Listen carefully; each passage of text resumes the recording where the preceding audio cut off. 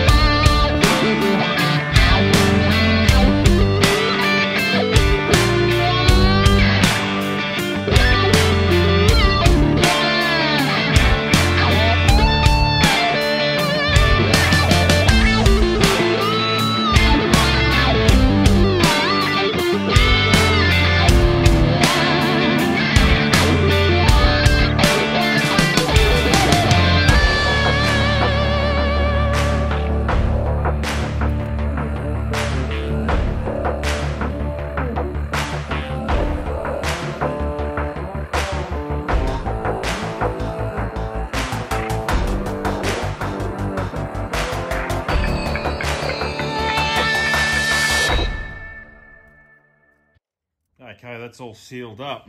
Uh, now, a couple of bits of advice. If you've ever done gasket work on an engine and you haven't gone out and got yourself one of these yet, trust me, you really need to. It is still just a standard razor blade that's in the end of this thing. I, years and years and years I spent uh, just using a razor blade in my hands, but I'm telling you, this thing makes life so much easier to, to get a good like clean on the on the engine block, get all those gaskets off. So uh, well worth going down and getting one of these. Now, the way that I like to um, put my gaskets together, uh, if you didn't pick up in the video, um, I always just quickly test fit the, the gaskets, make sure it is the right gaskets. I've been stung before where holes haven't been right. You know, you just go put the pan on or valve cover or whatever it is and a hole won't line up or you've got it just around the wrong way or something like that. So test fit it quickly, make sure it is where it's supposed to be going. And then I like to use on the sump, uh, just some of this uh, Form-A-Gasket. It's, it's a bit of a sticky liquid that doesn't really dry hard, um, but it helps to seal up. It also helps to stick the gasket still when you're, when you're putting things together and then go ahead and put every bolt in loose, just a couple of threads each. Make sure you can get them all in and make sure that you've got that gasket lined up. It hasn't fallen in or out of where it's supposed to be. Uh, and then just start cinching them down. Just don't go all the way hard. Just make sure they start going down in the middle. I like to work my way out on either side and um, then just keep going around until they're all tight. Uh, you'll need to retighten them once the engine's been run. Um, they generally do come loose. I'm sure there's torque specs and everything that's supposed to go on this.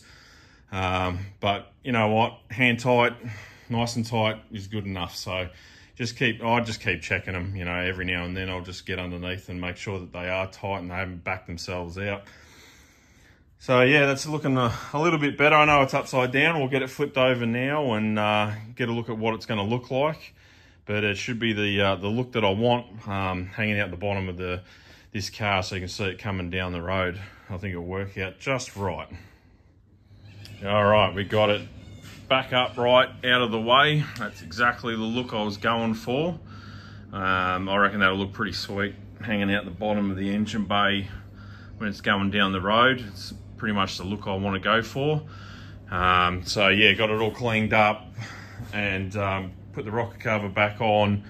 Uh, we will be swapping these rocker covers out. We've got something in the pipe works um, that's going to be needed for this engine to fit uh, because we have a solid uh, flat tappet. We're going to be adjusting roller rockers every now and then.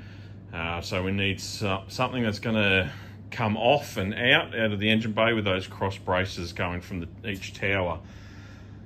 Uh, so yeah, instead of modifying the car, which I don't really want to do um, by cutting these out and making them bolt in or um, doing something else to them, I want to leave them. So yeah, we'll have to try and figure out how we can get those rocker covers off, which is coming up and then outwards to clear the, the rockers in the back. Um, so yeah, stay tuned and you'll see what I've got in, in mind for um, dealing with that issue. So anyway, let's get start, stuck into getting this uh, bracket manufactured. All right, first what I think I might do is uh, just quickly snip out these hoses for the heater core.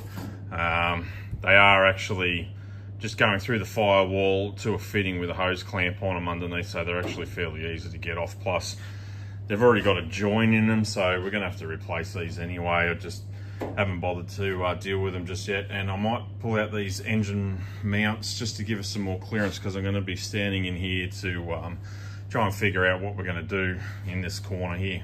So.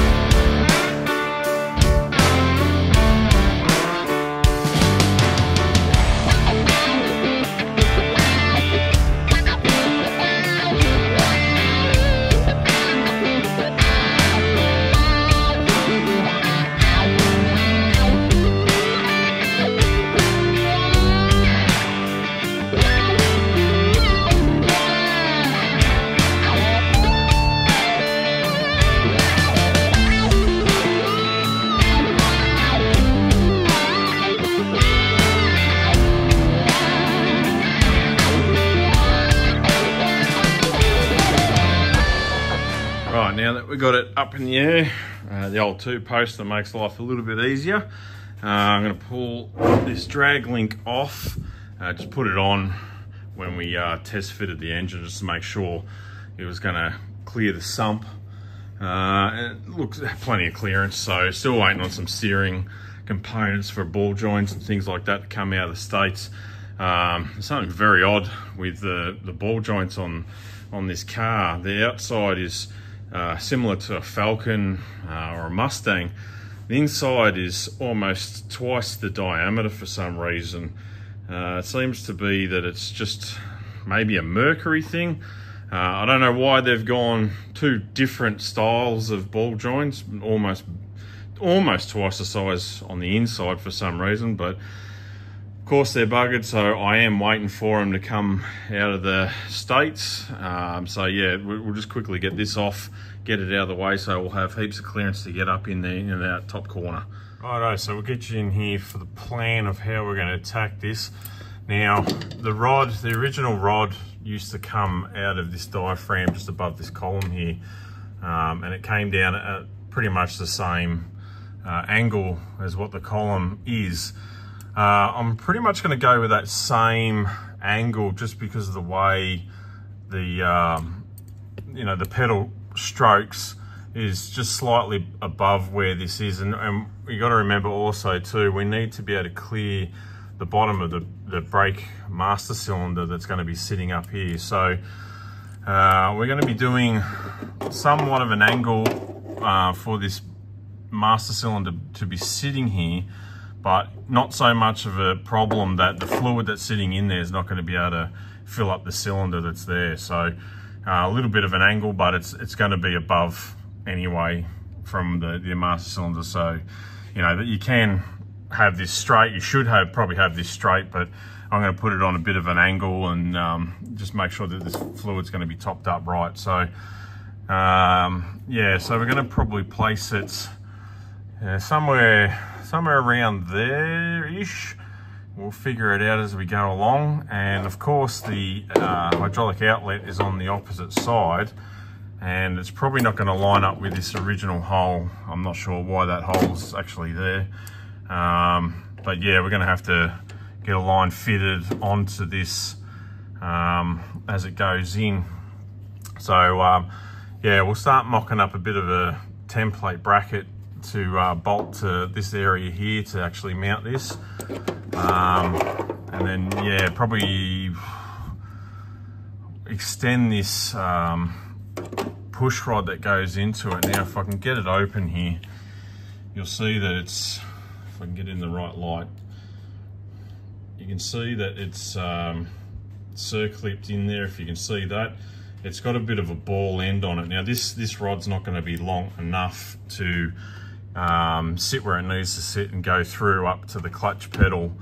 Um, I've already done a quick measurement as to what it's going to be, so we're going to have to modify this, which will probably just extending this rod um, and possibly even using the original uh, end to, to mount to the clutch pedal itself. So anyway, we'll um, start making up a, a cardboard template to sort of mock up where we're going to sit it and if it's going to be in the right position and um, we'll go from there. All right, so I've cut this bit out already. Um, I'm just guessing at exactly what length we're going to need um, and height and everything like that. Uh, after all, this is just a template, just a bit of a mock-up to get an idea on how I want to make that bracket uh, for this clutch master cylinder. So I'm, I'm hoping I made it long enough. I know that I need you know, a couple of returns to bolt to the firewall and the inner guard liner. Um, so yeah, I just I use this um, two two to three mil, not sure exactly. Um, piece of card. This is this stuff's sort of getting harder to find in shops. I actually just um, got this from a trimmer.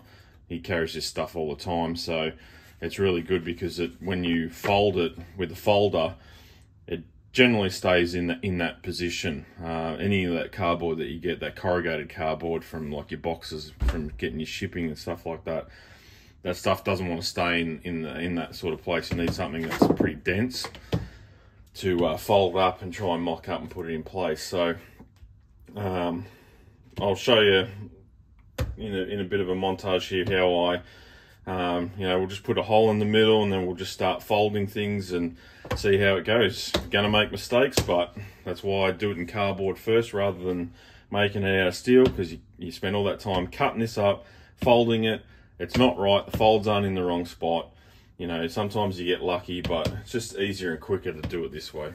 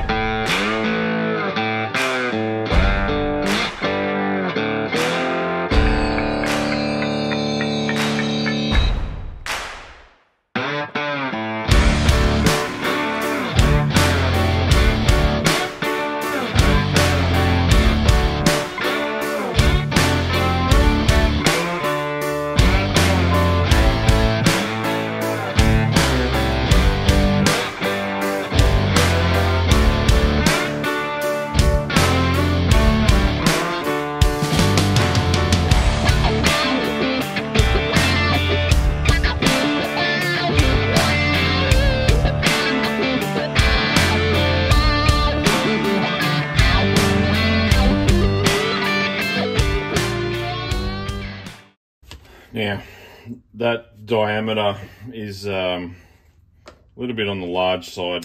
It's um, unfortunately the only one that I've got close to that diameter that we're ch chasing.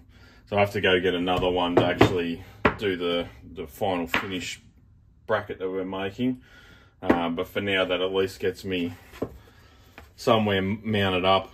The holes are just for reference. I'm not really going to sort of bolt anything to it. It's just to make sure that it is sitting, you know, where I want it. Um, so yeah, we'll continue. We'll start to get some folds in these.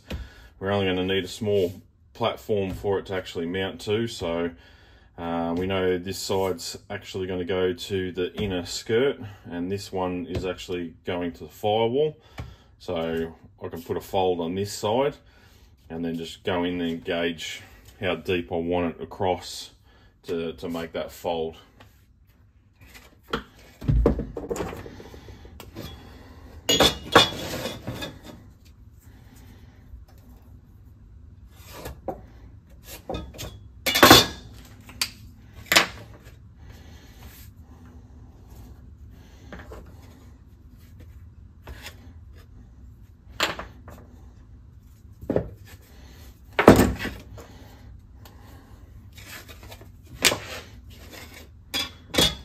Make sure you do the folds on the right side because it's just about to make that mistake.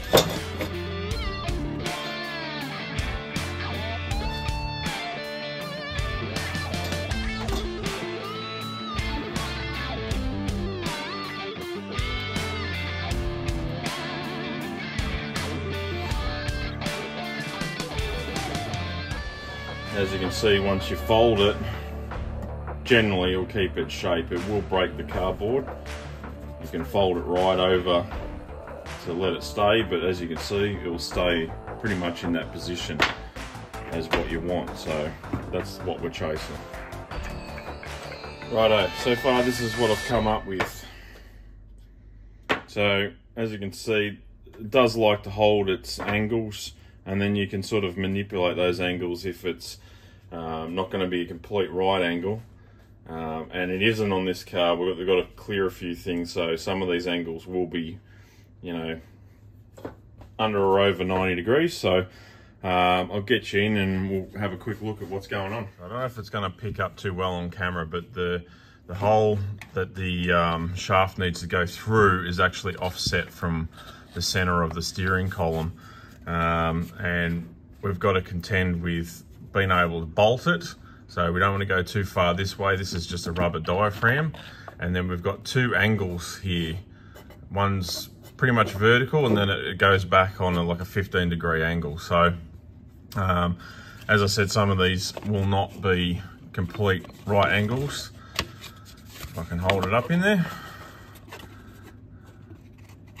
But we're starting to get some sort of shape together. So I'll keep playing around with this for a little while and then I'll check back in with you and um, we'll see what progress we're to get out of this. Righto, this is where we're at so far. So the beauty of cardboard, sticky tape sticks it to anything. So like, you know, if it was metal, you'd have to hold it there or, you know, try and weld it, tack weld it quickly or something like that. But as you can see, it's got, uh, you know, multiple different bends in it and uh, and we're gonna have to do a bend that's you can't really see it but it's across here to um, contend with mounting it to this uh, inner, inner fender. So um, as I was thinking about it I'm probably gonna have to slot the top of this so that push rod can actually clear this. If we have to pull that master cylinder out for any reason the shaft is that long going into the car that it's actually going to come back and foul on the shock tower here. So we're going to have to um, have it so it actually can pull up through the top of that bracket. But I'm pretty happy with that. The length is perfect. So uh, I think it's time to transfer that to steel in some way something that's just occurred to me is that I did want to fold up some steel in this um, bench folder that I've got. uh, to make this bracket, but the pushing force that's going to be asserted onto this master cylinder is going to be too extreme for the steel that we can actually fold properly in this uh, bender here that's um, it only really does good up to about two mil after that. It's sort of you got to put too much force on it and it just almost puts a radius on the on the bend. So I've got some of this stuff that's lying around um, as you can probably see in the corner in in prior clips that there's actually scrap sitting around everywhere. But uh, I've got a sheet of this stuff which is uh, much thicker. We've got three three mil stuff.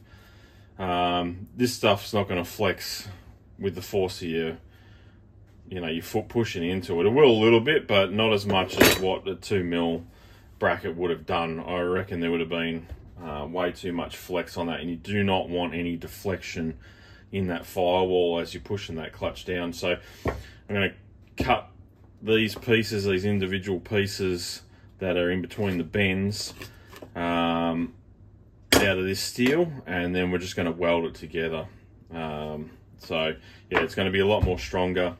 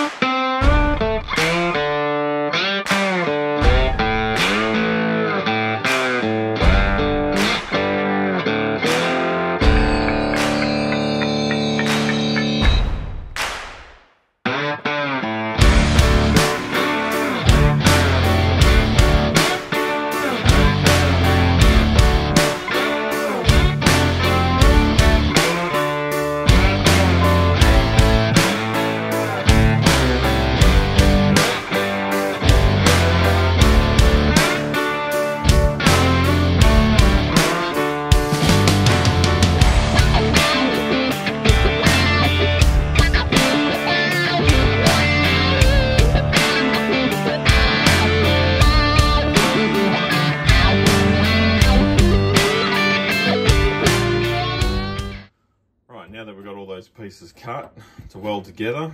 Uh, I'll probably go ahead and drill these holes in this piece first just to make it easier uh, before it's all welded together and hard to, to hold. Uh, we also have to try and get that small return bend done in the in this in this bracket here which being that this is a small piece we can really just use the the, the folder here to try and get that so we'll just do it slowly um, and go test fit it on the car, just bend it a little bit, go test fit it until we get the right bend that we want in it. Now that also will deflect away from uh, where it's got to be connected up here. Um, so I'll end up just putting a small filler piece in there because I'm not sure what that bend's going to be just yet. So uh, we'll get that bend done on this to suit the, the inner skirt. Uh, and then that way we'll know what piece we need to cut for in here. If it's not too big, we can always use the glue stick to just fill that that big gap up.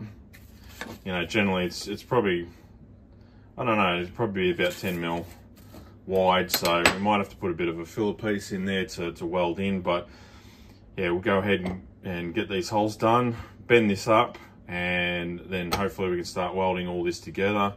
Uh, so I'll tack weld it first. The tack welds you know, we'll sort of mock up in the right angle that we want. But tack welds are generally easy to sort of manipulate and bend it a little bit more, a little bit less until you get the right shape and then we can fully weld it. So we'll go ahead and get all that done.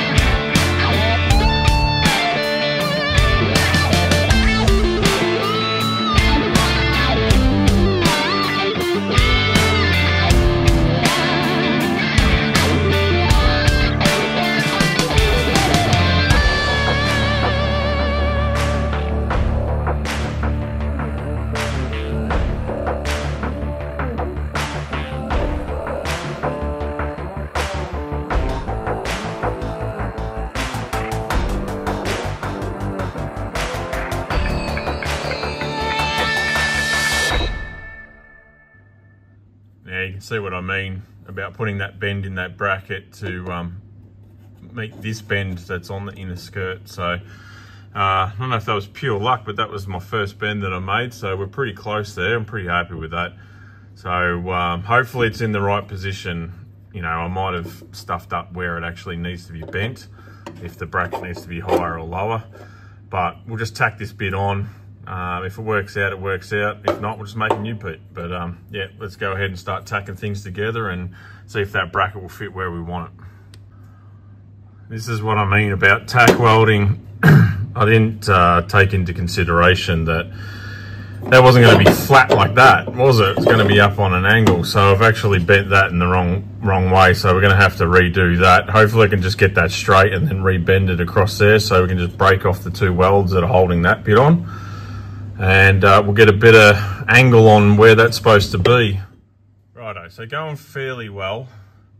Uh, but at this stage, just looking at the clearance that we have for the brake master cylinder and I've remembered that we're uh, running the proportioning valve on the bottom so that's not going to work too well uh, that that's obviously going to hit if we push it in any further so uh, we're going to have to decide whether we're going to uh, cut this bracket down in a 90 degree angle so it clears what it, you know, the proportioning valve underneath that brake master cylinder. I think that's going to be the way to go. I want to try and keep as much material down here as possible, but it would have been nice to maybe just make that uh, go straight across to here, but same here, starts having all sort of weird bends going on down here. So I sort of wanted that, that flat area to mount the bracket too. So uh, I think what we might do is just cut into this and um, make clearance for that brake master cylinder and um, yeah, reconvene then and actually probably scallop a bit of this out for the clearance for that column. Righto, got that cut on the top there. Uh, I'll test fit it in a minute, make sure we do have enough clearance there. But I'm pretty happy with that. We've got the clearance over the column. Um, so we'll be able to get two bolts two pretty large bolts in there and, and, three going up there. So, I mean, just keeping in mind that the force is going this way. So this, this side will probably be the more important um, bolting uh, side.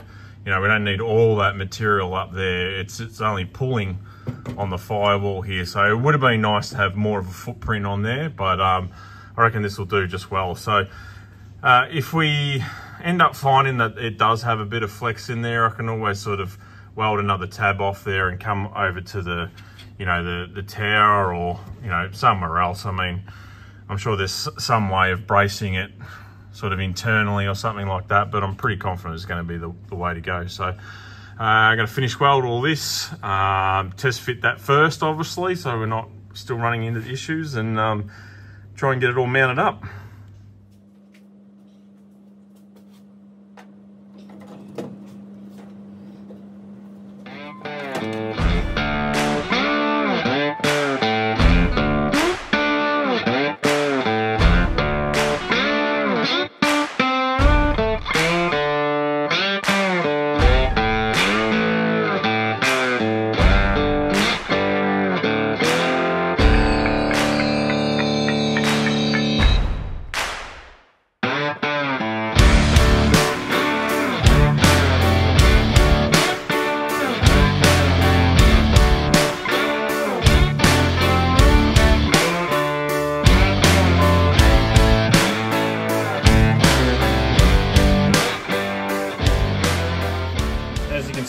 Evolved a little bit from what we did with the cardboard.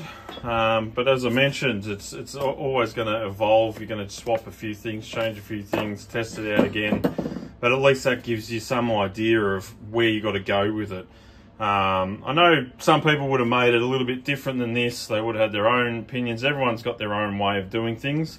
Um, this is how I'm going to do it. And um, yeah I hope you got something out of you know, being able to use a bit of cardboard like that, it, it really does help with whatever you're going to do in trying to um, make something fit. It makes life a lot easier. You know, it's a lot lighter to stick up underneath something, you know, uh, sticky tape it to the thing. you know, whatever you're going to fabricate, it's a lot easier doing it this way. So there you go, guys. That's the uh, finished result. Got it all painted up, bolted up. There's still a couple of bolts I still got to get in here. Um, you know, in a minute, I'll um, pull this back off and finish putting those bolts on. It's kind of hard by yourself being on both sides, but um, got most of the bolts done. The beauty of getting these ones up nice and tight. So we're still dealing with that hole that's in the in the uh, trans tunnel so I can, you know, reach around and sort of tighten them up that way. So, you know, we got plenty of clearance for that, um, just the uh, proportioning valve um, on top of that bracket. And this bracket is probably, once it's been bolted up, it's probably overkill to be honest, um, in how thick it is and everything like that. But that's good. It means no deflection, means it won't twist and turn and carry on. So, um, that'll be a good thing. And, and where I fill it up is um, still above where the cylinder is. So as long as we keep this completely topped up, we should uh, never have an issue with um, filling this cylinder up with fluid. Um, so yeah, it's easy accessible from the top. You can see it easily. So uh, overall, great result, I think anyway. Um, I've cut a hole in the backside for um, the port. Unfortunately, the the um, line going out is going straight into that wall, but you know, we can we can just run that line on the outside and, and then straight in. So yeah, we'll just, um, I'll continue further. We'll get some lines done, things like that. Um, whether we do that right now, um, I might actually, because I'm going to have to be pulling in and out of this engine so many times because we, as I said, we still have to finish fabricating this trans tunnel. Um, I need the location of where the shift is going to be coming through. Um, so for the time being, I'll probably test fit the engine and then we'll move on to other fabrication parts um, and then come back around to this and run lines to and from this stuff. But yeah, so there you go. All right, guys. Well, I hope you got something out of that. Um, you know, that's the way I do it with the cardboard. Um, that's the way I've sort of always done it with sort of sheet metal bracketry that I've needed to do. So um, I hope you, you, know, you can use that in, in the projects that you're doing. And um, yeah, look, I, I don't, I'm not a fabricator. I'm, I'm not claiming to be a fabricator. Um, I'm just a bloke doing a, uh, building a car in the shed. So I hope you guys are doing the same. You know, I, I just want to get this car going and on the road. I'm not looking to make some perfect millimeter, you know, millimeter perfect style bracketry or some billet stuff to bolt onto it. It's, this isn't a show machine, it's a go machine. So, um, yeah, oh, look, I hope you enjoyed it. In the next episode, I think we'll be jumping in, um, sort of crossing backwards and forwards. It's unfortunately it's what I, I normally do um, off camera anyway. So I think I want to sort of mock that engine back up with the transmission and probably jump into maybe getting that floor fabricated um, to um, you know get that shifter point through the floor uh, location and then we can, you know, do other things like, you know, start to put interior back into it and things like that. Um, but at the same time, we're going to have another look at what what's going on uh, and what we need to do with building those pipes.